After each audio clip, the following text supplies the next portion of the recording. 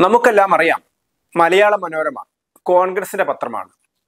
അത്രയും പക്ഷപാതപരമായാണ് അവർ വാർത്തകൾ റിപ്പോർട്ട് ചെയ്യുന്നതും അത് വളച്ചൊടിക്കുന്നതും വാർത്തയുടെ അവലോകനം നടത്തുന്നതുമൊക്കെ ഡൽഹിയിലെ മനോരമ ലേഖകരുടെ റിപ്പോർട്ടിംഗ് കണ്ടാൽ എ ഐ സി സി ആസ്ഥാനത്ത് നിന്നാണോ ഇവർക്കൊക്കെ ശമ്പളം കിട്ടുന്നത് എന്ന് തോന്നിപ്പോകും. പക്ഷേ മനോരമ ഒരു ക്രിസ്ത്യൻ പത്രം കൂടിയാണ്. അതും അങ്ങനെ രഹസ്യമായ കാര്യമല്ല. പക്ഷേ മുനമ്പത്തെ പ്രശ്നം വന്നപ്പോൾ കേരളത്തിലെ ഒട്ടുമുക്ക ക്രിസ്ത്യാനികളും അതായത് മുനമ്പത്ത് പണം കൊടുത്തു വാങ്ങിയ ഭൂമിയിൽ വർഷങ്ങളായി പരമ്പരാഗതമായി താമസിച്ചു വരുന്ന ഭൂമിയിൽ അറുന്നൂറ്റി പത്ത് കുടുംബങ്ങളെ നികുതി പോലും അടയ്ക്കാൻ അനുവദിക്കാത്ത നടപടിയിൽ കേരളത്തിലെ മൊത്തം ക്രിസ്ത്യാനികൾ മൊത്തം ജനങ്ങളും പ്രതിഷേധമുള്ളവരായിരുന്നു. പള്ളിയും ക്രിസ്ത്യൻ മത പുരോഹിതരും എല്ലാം ഇവർക്ക് വേണ്ടി പരസ്യമായി രംഗത്ത് വന്നു. മുനമ്പത്തെ ഭൂരിഭാഗം ഇരകളും ക്രിസ്തുമത വിശ്വാസികളാണ്.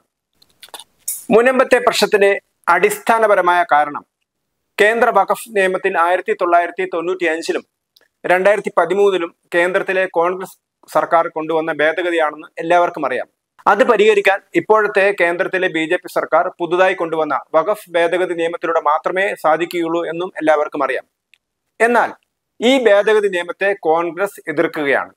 അതായത് മുനമ്പത്ത് സാധാരണക്കാർ പെട്ടോട്ടെ എന്നാണ് കേന്ദ്രത്തിലെ കോൺഗ്രസ് നേതൃത്വം പറയുന്നത്.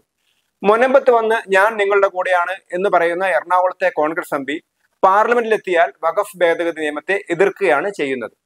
ഇപ്പോൾ ഇവിടെ തെരഞ്ഞെടുപ്പ് നടക്കുകയാണ്. വയനാട്ടിലും ചേലക്കരയിലും പതിമൂന്നാം തീയതി തെരഞ്ഞെടുപ്പ് നടക്കുന്നു.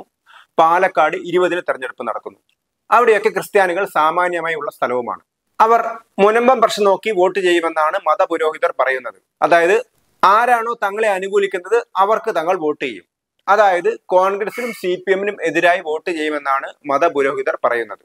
മനോരമയ്ക്കാണെങ്കിൽ കോൺഗ്രസ് ജയിക്കുകയും വേണം. അതേസമയത്ത് പള്ളിയിലച്ഛന്മാരെ തള്ളിപ്പറയാനും വയ്യ. അങ്ങനെ മുനമ്പം മറികടക്കാൻ എന്ത് ചെയ്യാമെന്ന് ഓർത്തിരിക്കുമ്പോഴാണ് മനോരമയ്ക്ക് ഒരു പിടിവള്ളി കിട്ടിയത്. അതിൽ പിടിച്ചു തൂങ്ങാമെന്ന് കരുതിയപ്പോൾ തന്നെ അത് പൊട്ടിപ്പോയി.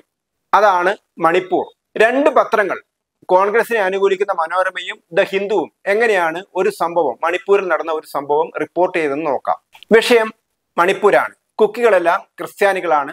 മെയ്ത്തികളെല്ലാം ബി ജെ പിക്കാരും ഹിന്ദുക്കളുമാണ്. മെയ്ത്തികൾ കുക്കികളെ കശാപ്പ് ചെയ്യുന്നു. എന്നൊക്കെയാണ് ഇവിടെയൊക്കെ എല്ലാവരും പ്രചരിപ്പിച്ചിരുന്നത്.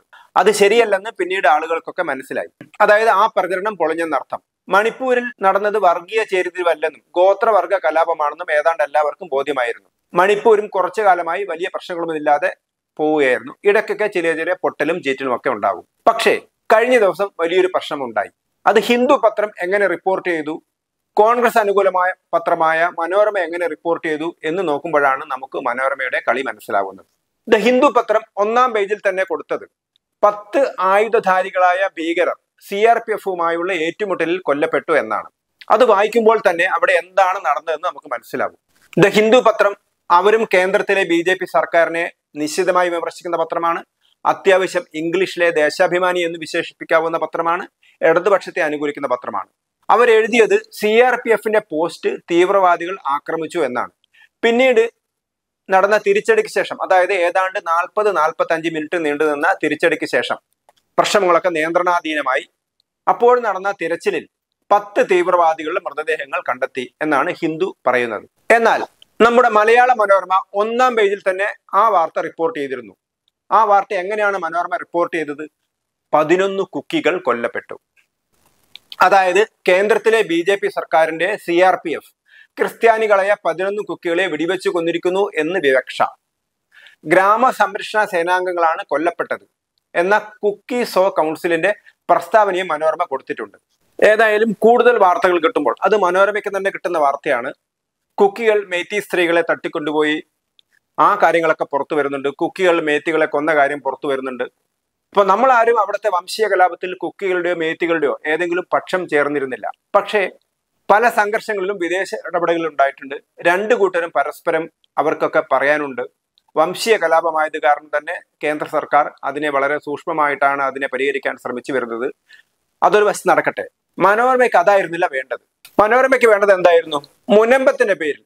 രണ്ട് മുന്നണികളുടെയും മുസ്ലിം പ്രീണനത്തിന്റെ ഫലമായി പരമ്പരാഗതമായി കിട്ടിയ ക്രിസ്ത്യൻ വോട്ടുകൾ യു ഡി എഫിന് നഷ്ടപ്പെടുമോ എന്ന ഭയം മനോരമയ്ക്കുണ്ടായിരുന്നു. ഒന്നാം പേജിൽ തന്നെ കുക്കികളെ കൊണ്ടുവന്ന ഒരു വാർത്ത കൊടുത്ത് അതിനെ മറികടക്കാമെന്നായിരുന്നു മനോരമയുടെ ആഗ്രഹം. പക്ഷെ തുടർന്ന് വരുന്ന വാർത്തകൾ ഈ പ്ലാനിനനുസരിച്ചായിരുന്നില്ല. അതുകൊണ്ട് തന്നെ മനോരമയുടെ നീക്കം ഫലിച്ചില്ലെന്ന് മാത്രം.